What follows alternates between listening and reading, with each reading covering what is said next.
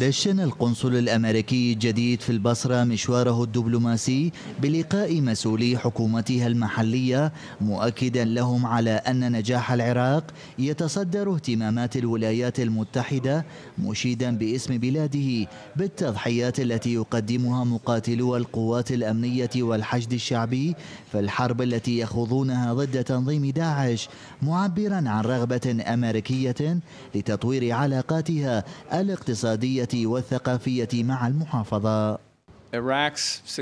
الولايات المتحدة مهتمة جدا بنجاح العراق ونعتقد أن البصرة لها دور محوري في هذا النجاح الذي نسعى إليه بتطوير العلاقات الاقتصادية والثقافية.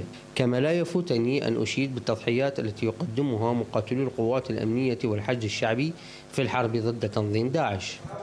الحكومة المحلية قابلت هذا الانفتاح الأمريكي بترحيب ودعوة للولايات المتحدة لتطوير علاقتها مع البصرة في المجالات التجارية والثقافية والتعليمية معتبرة علاقة العراق وصداقته بالولايات المتحدة طويلة الأمد وليست بالقصيرة لأنها محكومة باتفاقية استراتيجية بين البلدين. صداقتنا وعلاقتنا مع الولايات المتحدة الأمريكية لا تنتهي باعتبارها اليوم هناك اتفاقية استراتيجية مع الحكومة العراقية. هذا جانب الجانب الآخر يجب أن تكون هناك علاقات تطور أكثر فأكثر وخاصة آه، علاقات تجارية وعلاقات تكون على مستوى التعليم وعلى مستوى المهنية وعلى مستوى آه، تناقل المعلومات. القنصل الجديد الذي كان يترأس فريقا لمكافحة الإرهاب في بلاده وضعته بعض القوى السياسية في ميزان المقارنة مع سلفي ستيف ووكر الذي كسب شعبية واسعة جراء قربه من شرائح المجتمع بمختلف انتماءاتها.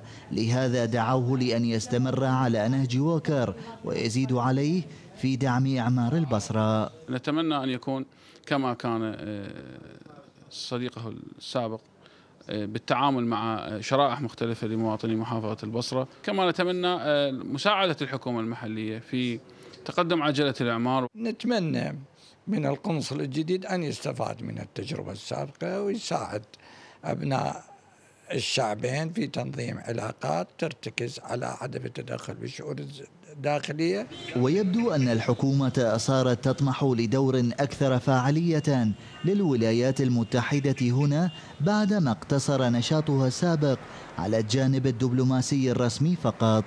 ويبقى السؤال المهم هل سيستطيع القنصل الأمريكي الجديد أن يسير على خطى سلفه ستيف ووكر ويساهم في كسب ود؟ من لديهم مواقف متشنجة هنا من الولايات المتحدة؟ سعد قصي الحرة مدينة البصرة.